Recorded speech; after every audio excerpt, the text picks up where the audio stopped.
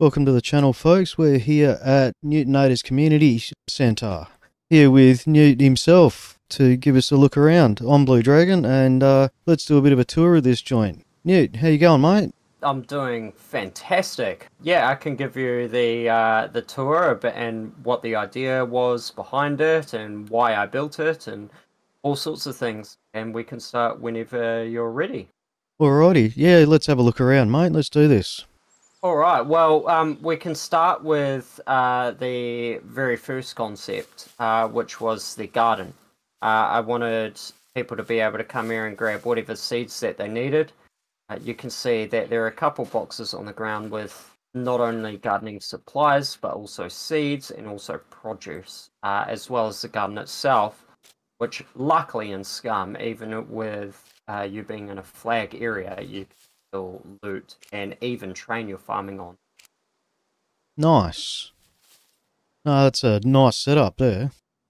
Yeah, we have all, all the basic foods. Um, I've heavily uh, pushed it towards stuff that people can use in cooking, uh, which kind of takes us to the new area that's just behind it, the cooking area.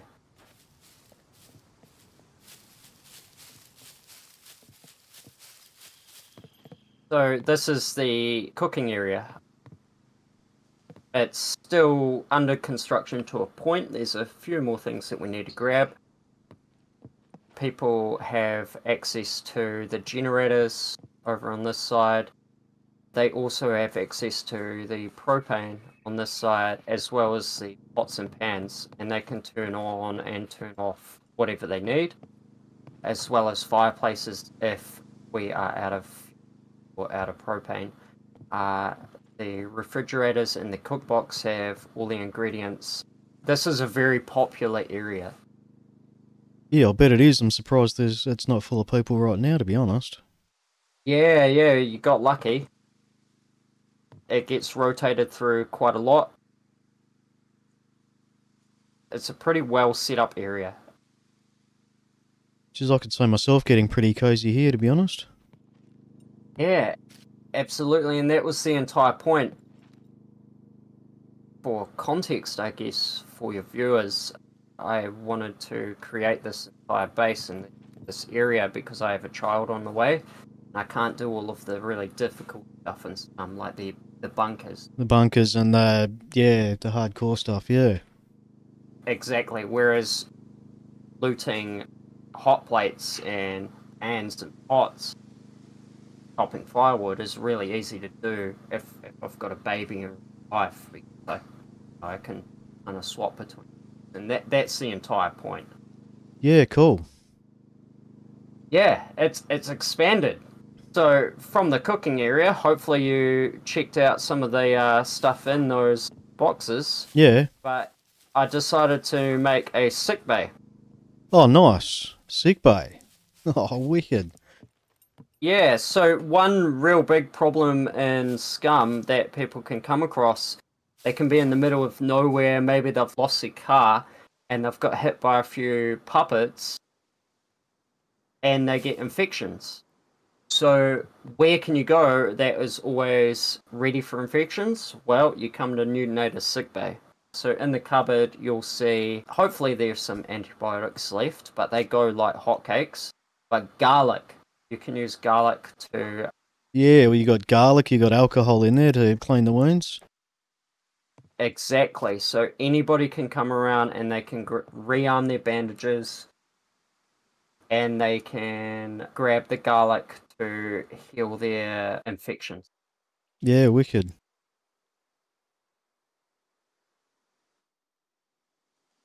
Keep it well stocked. Well, that moves us on to the next area, I suppose. This is the fun area around the bonfire. You see, I created the chairs and the benches around the bonfire, but the really interesting kind of pivot is this box that you can see here called the Good Times box.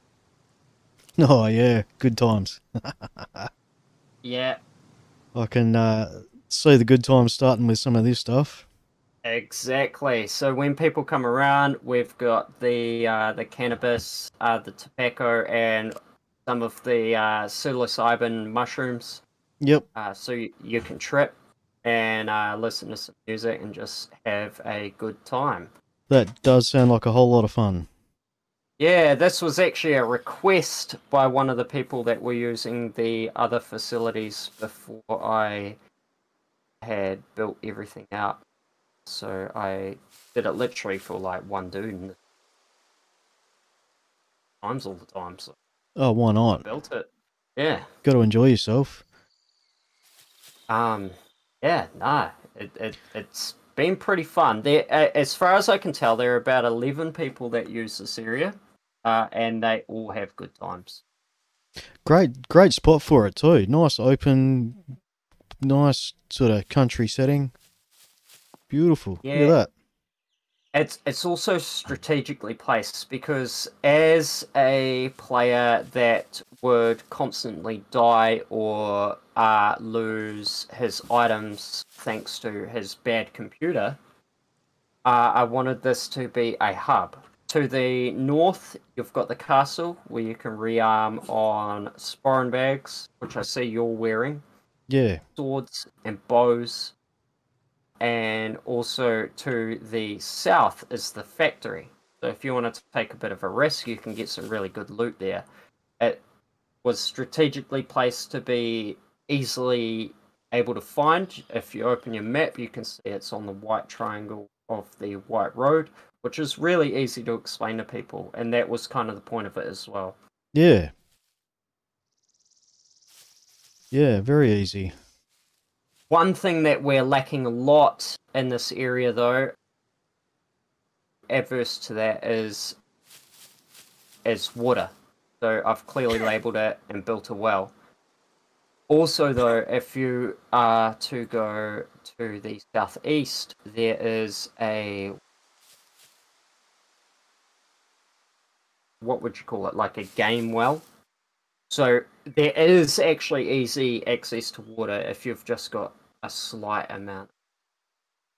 You're able to fill up your drink, Yep. even though there's no river. Yeah. Oh, look, rivers make it easy. There's there's a river up near the castle, so you know if people are on their way up there to top up on arrows and bows and swords and stuff, they can grab some of that. But no, good to have a well here as well. Yeah, exactly. The whole point of this space is that you're either able to grab everything that you need from here to restart really quickly, because we know that dying in scum sucks. You've got to restart from the beginning. But I think it's strategically placed enough that whether you want guns, you go south, or if you want swords and bows, you go north Yeah. from this place. Yeah. Yeah. No, that sounds really good to me. Yeah, I, uh, I could definitely see myself making uh, either this or Jeff's place home. I uh, yeah. Now, this is something really special. 0% of this box was donated by me. 100% of this box has been donated by the community. Have a look what's inside. Oh, that's nicely stocked, isn't it? Hmm. Check that out, folks. That's a very well stocked community donation box. Yeah, everything that you could possibly need. Um, it rotates a lot. You'll see as you scroll down, you'll see a lot of gaps, and those are items that people have taken. Hmm. Uh, so it gets restocked and then taken from often. This is the main box of the space. Geez, there's a bit of everything in there, isn't there? So over to your right.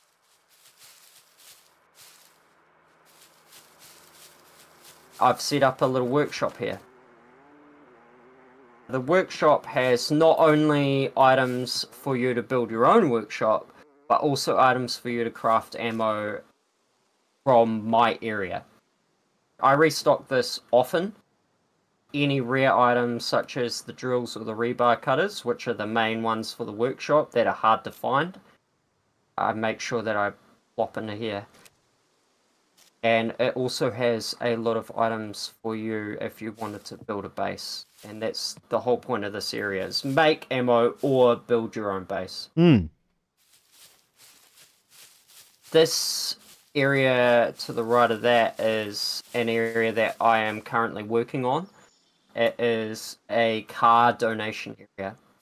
Now, if you're like me before today, which I've got a new computer, I used to lose cars under the map all the time. And we all know how horrid it is trying to go find a car with a lock. Oh, yes. I absolutely know that problem. I, uh, my long-time viewers will who watch my streams. I, uh, I don't know that I've lost many on stream, but I've definitely lost quite a few, especially Ragers. Yeah, your car just it, it just uh, floats under the map, and then you appear on top of the map, but your car is gone. Yep, that's the one. I wanted this area to be somewhere where somebody can come and just grab a vehicle, uh, whether it be a car or a motorcycle. Um, this car is obviously not fully built, but it's a damn good start, and it would allow you to get your get you to your base, uh, Mm. and it would also allow you to lock it. And if you notice in the boxes, I'm starting to accumulate some parts. Got a couple batteries in there, a- a few vehicle parts. That this is all that I've found that hasn't been looted by other people. And uh, also on the left, the repairs box gives you gasoline, stuff to paint your car, car jacks, and repair kits. Nice. And that's basically the base so far. Um, That is so, very nice. And look at that. Perfect spot here too. yeah. There is also around this area, there are animals, boars, goats.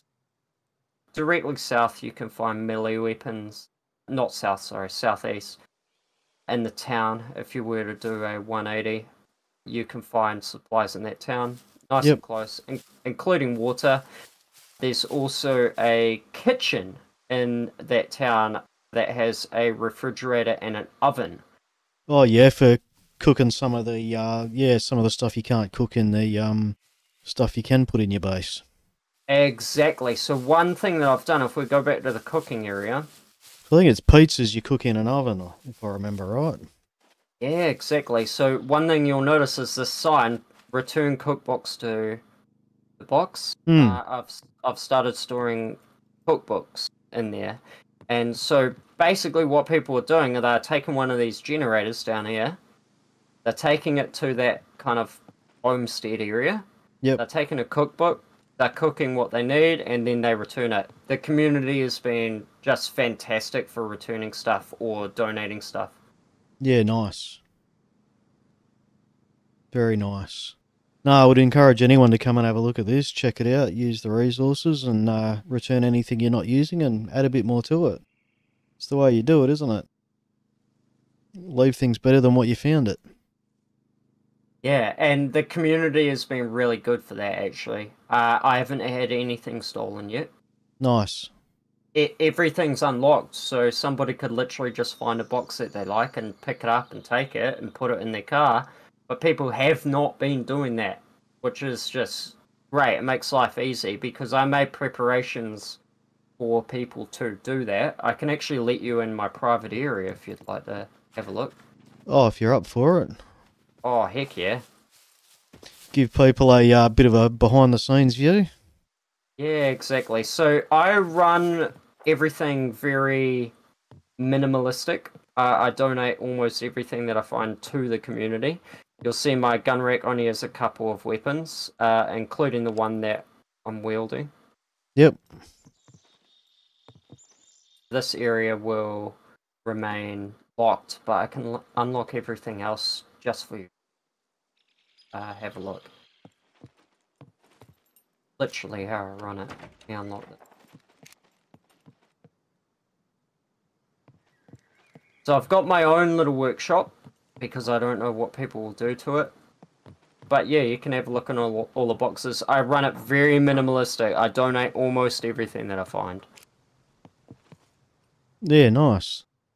You haven't stored a whole lot of gear here, have you? I tend to be, um, I know I tend to be a bit of a hoarder for no good reason other than just in case, just in case I might need it. Yeah, And uh, yeah, it's it's refreshing to see someone who's not doing that. To be honest. Yeah, you'll you'll see if you go to my main box, you'll see I've got ammo for my weapons. I've got a lot of screwdrivers, uh, and that just allows me to hit police runs. If you scroll right down to the bottom of the main box, you'll see that I have a lot of gear just to help me if I were to die. Yeah, just so you can get up and going and get this place restocked again quickly.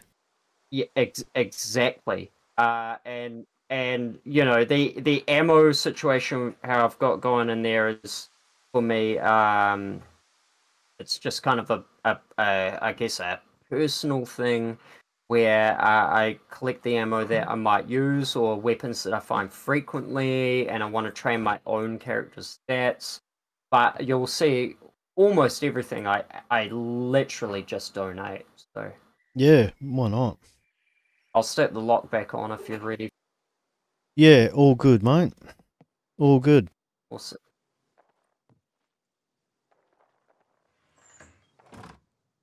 Thanks for the tour, mate. Really appreciate it. And folks, make sure you come and check out the community centre here. Yeah, nice to meet you all, team. Hopefully, I see you around. I've seen quite a few of you around already. I really enjoy when you guys come up that pathway and you just come say hello. That's what it's all about.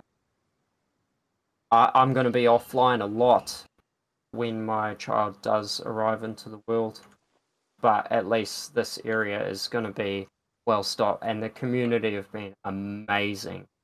People donate every day, people take things every day. I look at what's been taken and I try to replace what's been taken. Hmm. Nah, look, you've done a really good thing here. This is awesome, and uh, yeah, look forward to you having taken the next step in your life journey, mate. Having a kid is a huge thing. I've got a couple of kids of my own.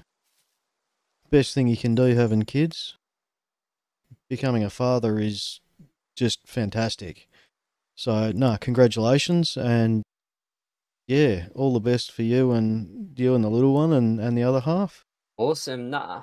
And um, yeah, no, I'll, I reckon you'll probably see me around here a bit more now that I know where it is and what it's about. So this is fantastic. Yes. Somebody donated a flamer the other day. I don't know who grabbed it, but that guy, whoever it was, or guy or girl, whoever it was, blimmin' legend.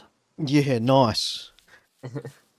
Right, ladles and jelly spoons and everyone else, thank you for watching. It's uh, Blu Dragon here, and you're at the uh, Newtonators community area. Uh, thanks for watching, and uh, make sure you give us a like if you liked what you see today. And hit me up with a subscribe on the channel if you want to see more of my stuff. Alright, folks, I will see you later. Blu Dragon out. See ya.